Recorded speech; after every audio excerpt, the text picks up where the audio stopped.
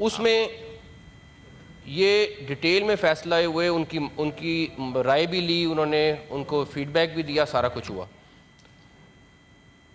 जो लोग स्टेट को मानते हैं, पाकिस्तान को मानते हैं, उनको हम अपने सर पे बिठाएँगे, वो हमारे लिए बहुत मोहतरम है, उनके डिफरेंसेस हो सकते हैं, हम उनको एड्रेस करने की पूरी कोशिश कर रहे हैं, और वो करेंगे और आगे भी करते रहेंगे।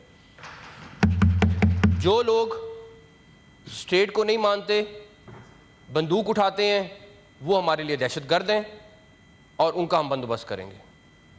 इसमें क्लैरिटी होनी चाहिए और इसमें मेरा ख्याल है हम सबको इकट्ठा होना चाहिए कि जो स्टेट के ख़िलाफ़ जाएगा, उसमें हम सबको इकट्ठा होना चाहिए। जहाँ तक रही बात बलूचिस्तान के मसाइल की, कल प्राइम मिनिस्टर ने पाँच अरब उनकी सी टी डी के लिए अलहदा मुख्त किए आठ अरब रुपए सिर्फ़ उनके डिवीजन्स के लिए, हर डिवीज़न के लिए एक एक अरब रुपया अलहदा मुख्त किया है, जो उससे local M N M P S के साथ मिल के वहाँ के जो छोटे छोटे मसाइल हैं, उनको हल करेंगे।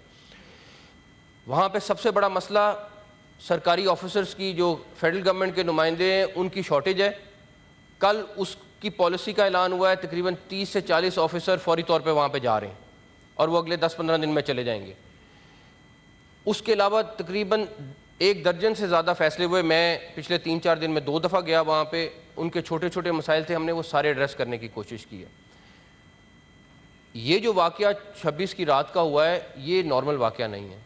इसके पूछे पूरी प्लानिंग हुई है और सिर्फ़ एक बॉडी ने नहीं किया, एक दो ने मिल के किया है। दहशतगर्द तंजीमों ने मिल के किया इसमें कोई शक नहीं, ख्वाजा आसिफ साहब भी पहले कह चुके हैं कि हमें बिल्कुल क्लियर लिंक्स पता है कि इसके पीछे कौन है।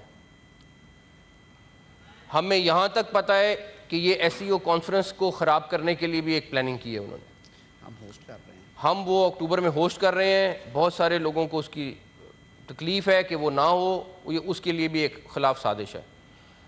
हम हतुलमकान कोशिश करेंगे कि हम जितने हमारे पॉलिटिकल स्टेक होल्डर्स हैं जिस तरह आपने कहा हम उनको ऑन बोर्ड करेंगे। कल उसकी एक काविश थी और उसकी आई थिंक अगर आप फीडबैक लेंगे वो बड़ी अच्छी मीटिंग गई है।